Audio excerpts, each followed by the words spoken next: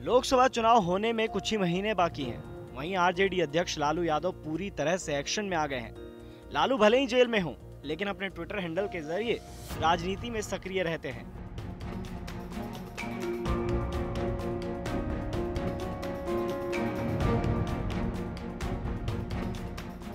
अपने ट्वीट के ज़रिए लालू विरोधियों पर निशाना साधने का एक भी मौका नहीं चूकते हैं। इस बार लालू ने कुछ ऐसा ट्वीट किया है कि उनकी पत्नी और पूर्व मुख्यमंत्री राबड़ी देवी भी उनकी सपोर्ट में आ गई हैं और पति की हाँ में हाँ मिलाने से खुद को रोक नहीं पाई।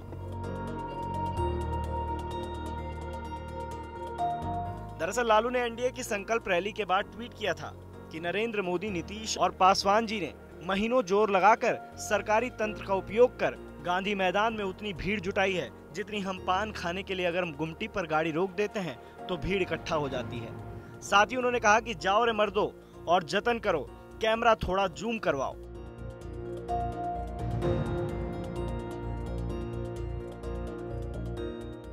अपने पति लालू प्रसाद के इस ट्वीट पर उनकी पत्नी राबड़ी देवी ने भी समर्थन दिया और पहली बार भोजपुरी में ट्वीट कर कहा कि ठीक ही बोले हैं साहेब।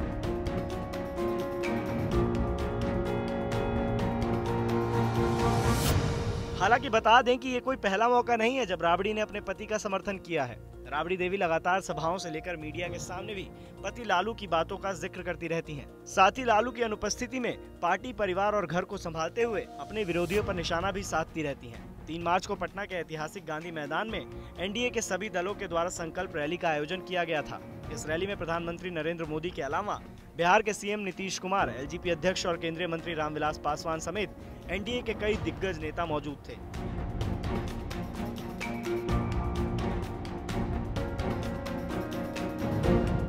लालू का कहना है कि पीएम की इस रैली के दौरान ये पार्टियाँ आशा के अनुरूप भीड़ नहीं जुटा पाई थी। बिहार की सक्रिय राजनीति में लालू के बड़े लाल तेज प्रताप यादव की सहभागिता को लेकर फिर से सवाल खड़े होने लगे हैं। शनिवार को पटना में, जहाँ आरजेडी की कई घंटों तक अहम बैठक चली और चुनाव को लेकर रणनीति बनी, वहीं इस बैठक से लालू के बड़े लाल पूरी तरह से गायब दिखे।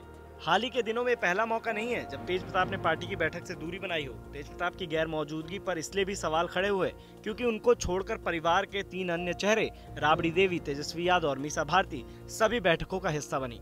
राजद विधानमंडल दल की बैठक पूर्व मुख्यमंत्री और नेता प्रतिपक्ष विधानमंडल राबड़ी देवी के आवास पर चली। पारिवारिक विवाद और 10 सर्कुलर को छोड़ जाने के बाद वो अपने भाई तेजस्वी यादव और माँ राबड़ी देवी से कभी कभी मिले हैं, लेकिन पार्टी की मीटिंग में कभी नहीं दिखे। टक्कर देने के लिए तेज प्रताप ने एलपी आंदोलन की शुरुआत की भी बात कही, लेकिन अभी तक इस कार्यक्रम को लेकर कोई कार्य योजना नहीं बन सकी।